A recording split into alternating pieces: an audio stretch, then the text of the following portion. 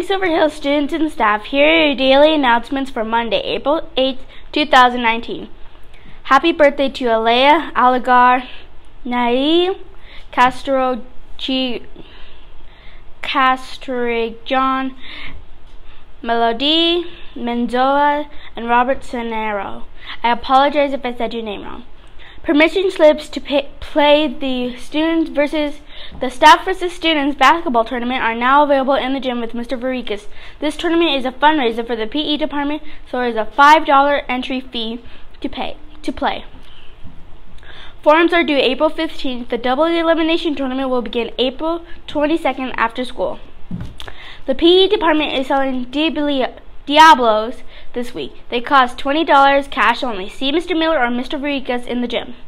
Hey Silverhills, do you got talent? Can you karate like a ninja, dance like a sea, dance like a star, or sing like a canary? If so, Miss Katz wants to see you. Please stop by for more information and to sign up for for the auditions. Let's go. let's show everyone Silverhills got talent.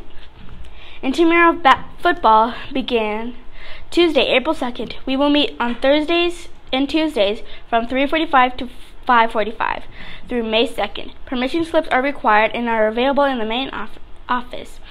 Plan your own transportation home on these days. Today's weather is a high of 72 and a low of 44, and tomorrow's weather is a high of 44, 74 and a low of 43. That's all for today. Signing off, I'm Mariana Stokes. Have a super storm day, Silver Hills.